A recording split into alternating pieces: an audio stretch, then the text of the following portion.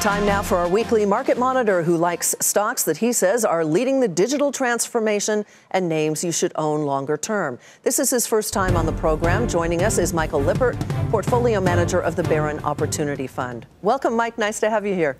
Thanks for having me. Let's get right to your picks. As we said, uh, leading technology companies. Guidewire Software is the first one. Why do you like it? Yeah, they sell software to the property and casualty insurance in industry, a massive industry.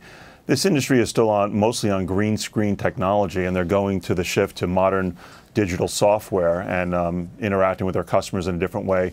Guidewire is dominant in this space. Um, they've never lost a customer. It's uh, very few uh, businesses that can say that.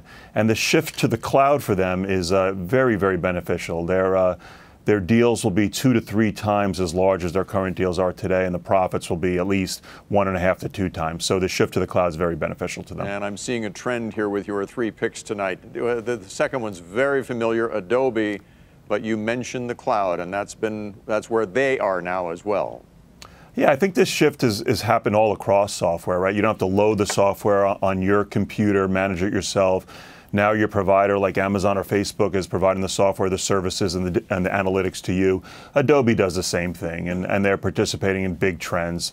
Um, producing and distributing digital content, um, marketing and, and, advertising over digital means, and, and, they're one of the big players there. And you know what's incredible at, about Adobe is they're a very high margin business, and everyone at home knows this. They, they can turn almost 40 cents of each dollar of revenue into actual cash at the end, at the bottom line. That's really impressive. And Microsoft is your last pick. You said you weren't quite sure that they were going to be able to transition and kind of turn turn reinvent themselves, uh, but they managed to do it in your assessment. Yeah, I think for a, a, long time there was debate whether or not they would get out of the Windows and, and PC generation to the cloud generation. I think Satya Nadella, as the CEO, has really done that for the company. Um, you've seen a lot of legacy software businesses, tech businesses, never cross. Microsoft has.